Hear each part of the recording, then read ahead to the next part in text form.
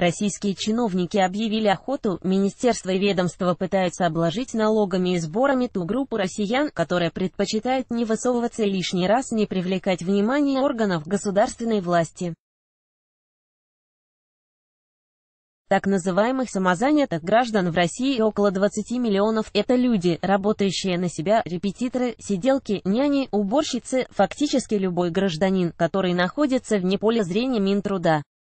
Проблема в том, что власти не могут подобрать ключи к миллионам россиян, все инициативы априори невыгодны гражданам и кроме как к потере кровных не приведут. Налоговая фиаско российских властей в материале «Ленты.ру» выйти из сумрака самозанятые граждане были в России всегда, если вы, например, продаете самогон или ремонтируете компьютеры на дому, вы самозанятый. Впервые всерьез за таких граждан взялись только в 2013 году. Вице-премьер Ольга Голодец рассказала о 38 миллионах россиян, занятых непонятно чем. Позднее, правда, оценка «Голодец» упала в два раза, до 20 миллионов человек. Оказалось, что в первый раз в самозанятые записали военных, силовиков и даже мам в декрете. Для государства проблема самозанятых – это вопрос денег. Эти граждане не платят налогов и страховых социальных взносов во внебюджетные фонды, фонд обязательного медицинского страхования, ФОМС, фонд социального страхования, ФСС и пенсионный фонд. При этом эти же граждане по-прежнему претендуют на пенсию и имеют право пользоваться бесплатной медициной. В свежих данных Росстата к теневому сектору в экономике приписывают уже 14,2 миллиона человек, 19,8% от всех людей трудоспособного возраста. Правда, вопросы вызывает сама методика подсчета. Ведомство относит к теневому сектору всех, кто не работает на компанию, зарегистрированную в качестве юридического лица. Таким образом, индивидуальные предприниматели, у которых в России особый статус, вместе с их сотрудниками тоже входят в теневой сектор. Заминка в том, что все они платят налоги и страховые взносы, но все равно воспринимаются Росстатом, как часть чего-то большого, непонятного и нелегального. К тому же один человек может и работать по найму на юрлицо и заниматься бизнесом в качестве П или быть его сотрудником. Кем считать таких граждан, Росстат не объясняет, первая попытка вывести самозанятых из тени откровенно провалилась. Власти предложили приравнять их к индивидуальным предпринимателям, а чтобы упростить регистрацию и налогообложение, ввести патентную систему. Самозанятый регистрировал ИП, покупал патент, после чего целый год мог быть спокоен за свои налоги.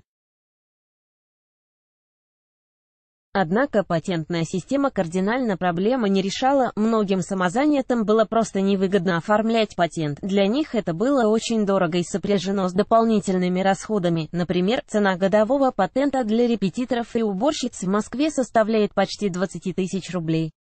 Резкого всплеска регистрации ИП самозанятыми не спровоцировало даже объявление налоговых каникул, которые распространились на новые ИП.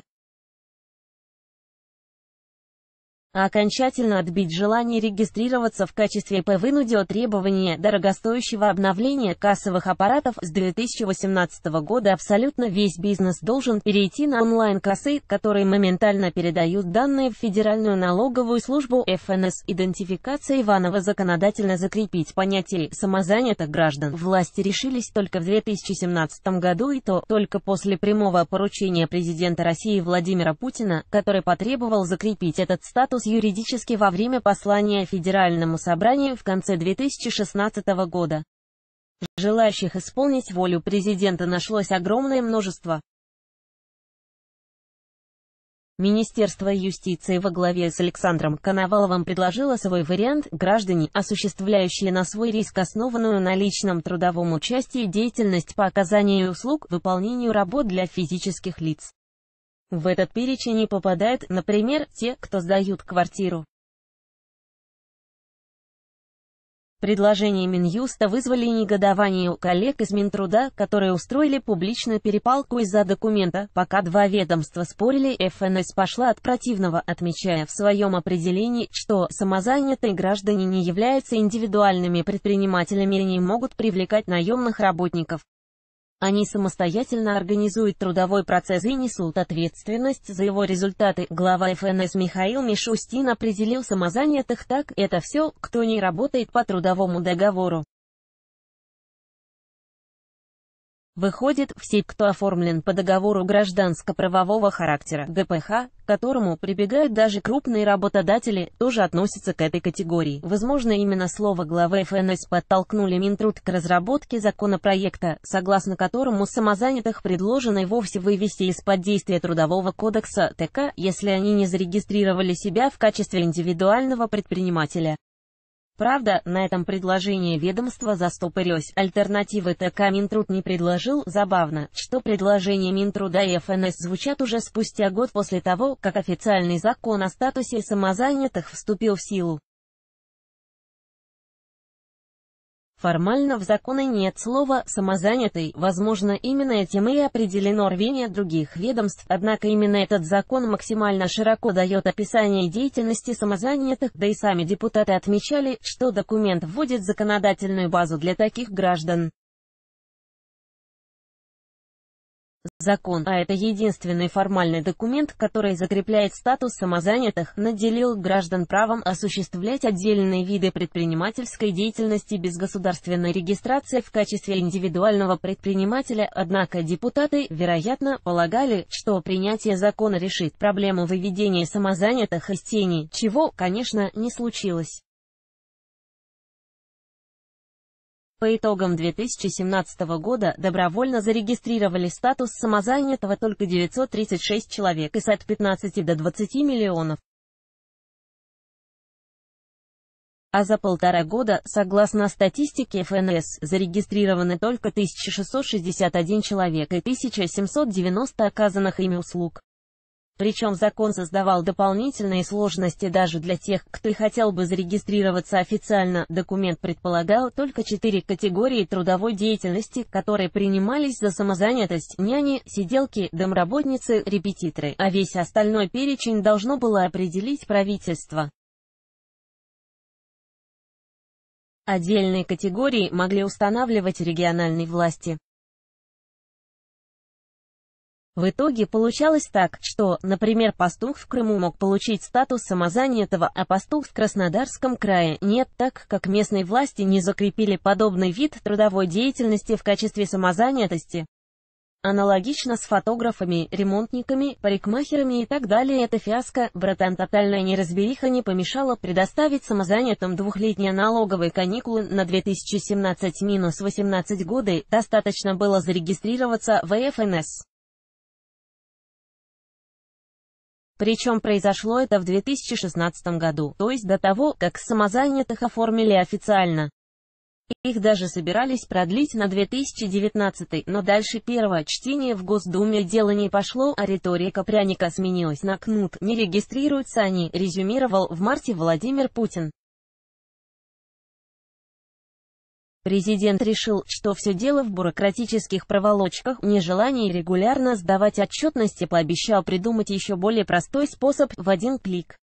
Такой, чтобы регистрироваться и платить можно было при помощи обычного смартфона и специального приложения, на деле же граждане просто не видят смысла регистрироваться и выходить из тени, зачем раскрывать себя перед налоговой, которая заберет часть чистого, пусть и серого дохода, вдобавок непонятно, как власти будут доказывать факт незаконной самозанятости, статьи за подобную деятельность нет, а механизма доказать, что доходы получены именно от нее у властей пока нет. Вдобавок люди просто не понимали, чего ждать после окончания налоговых каникул, либо патентная система по примеру либо обычная НДФЛ, либо какие-то специальные налоги, определенности нет. Мы подошли из-за угла продолжения налоговых каникул, видимо, откладывается. Сперва Минфин, а после ФНС предложили свои системы налогообложения самозанятых, которые должны заработать уже в 2019 году. Минфин анонсировал принципиально новый налог на профессиональный доход НПД. Мы будем предлагать новый специальный налог, налог на профессиональный доход. Это доход, который получает человек, не привлекая дополнительных работников. Мы предлагаем, чтобы ставка налога составляла 3%, если оказание услуг идет физическим лицам, и 6%, если юридическим, объяснял замминистра Илья Трунин. Позднее, правда, Минфин поправил сам себя, снизив размер прямого налога, зато добавив к ним отчисления во внебюджетные фонды. В итоге формально получилось, что налоговая нагрузка на самозанятых снизилась, а реально только выросла. В итоге ставка НПД составила 2,5% в случае оказания услуги физическому лицу и 4,5%, если работа выполнялась для юрлица. Вдобавок к ним самозанятый будет вынужден уплатить 1,5% со сделки страховых взносов, однако ФНС этого показалось мало, служба допускает, что вновь завышенные ставки могут еще подрасти и превысить 4,6% с дохода соответственно. Единственное, что полтора процента они теперь предлагают отчислять не в два страховых фонда, а только в один медицинского страхования. В качестве еще одного пряника ФНС допускает освобождение от подачи самозанятыми налоговой отчетности. Правда, не очень понятно, зачем она вообще будет нужна, если все деньги самозанятого налоговой будет видеть через то самое приложение, которое рекламировал Владимир Путин. Приложение, кстати, должно сэкономить самозанятым расходы на онлайн-кассу, для них она будет не нужна, для самих предпринимателей оставят один реальный пряник, налоговый вычет в размере 30 тысяч рублей. Власти рассчитывают, что в этот раз стимулом к выходу из тени станут сами клиенты самозанятых, им тоже пообещали налоговый вычет 1,5% из уплаченного самозанятым НПД. То есть, если вы купили услугу у самозанятого за 1000 рублей, 40 рублей предприниматель заплатит налогов и сборов, из которых 25 рублей составит НПД, а 15 – отчисления в страховые фонды. Ваш налоговый вычет составит 1,5% от 25 рублей, то есть 38 копеек. Максимальная сумма такого вычета составит 10 тысяч рублей в год. Минфин всерьез думает, что это достойный стимул просить у самозанятых чеки за оказанные услуги, реализовать подобную систему ведомства намерено уже в 2019 году. Правда, распространить ее на всю страну Минфин не планирует. Для этого выбрано четыре пилотных региона – Москва, Татарстан, Московская и Калужская области.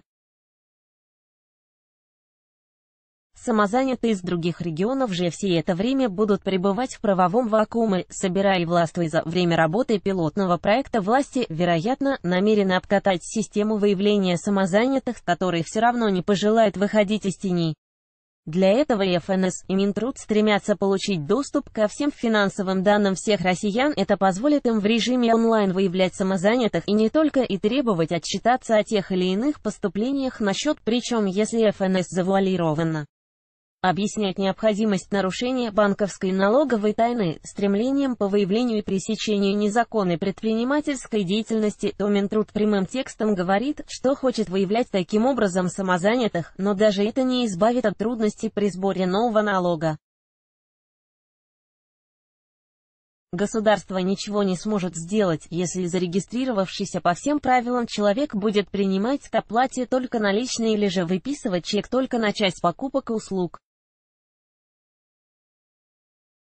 В то же время, гражданам, получившим разовый доход, будет сложно доказать, что они не собираются заниматься бизнесом на постоянной основе. Перспектив никаких по Минфин и ФНС предлагают свои варианты обложения новым налогом. Минюст по поручению премьер-министра Дмитрия Медведева вернулся к азам. Ведомство подготовило законопроект о правовом статусе самозанятых, к ним предлагается относить граждан, работающих без права найма, которые оказывают услуги, выполняют работы или продают продукцию собственного производства другим физическим лицам и только им. О клиентах-компаниях, которые предусмотрены в планах Минфина, не говорится ни слова.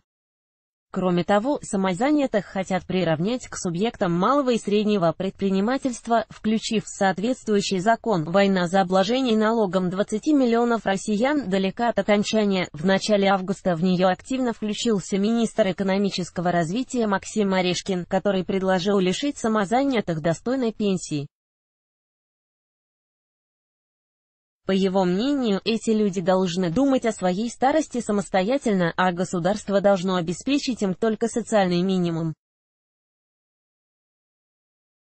Если человек готов сам копить, зарабатывать, то надо создавать те механизмы, которые позволили бы ему увеличить уровень своей социальной пенсии, отметил чиновник. Всем заинтересованным сторонам еще только предстоит договориться между собой, чтобы попытаться разработать единый, понятный и удобный порядок уплаты налога.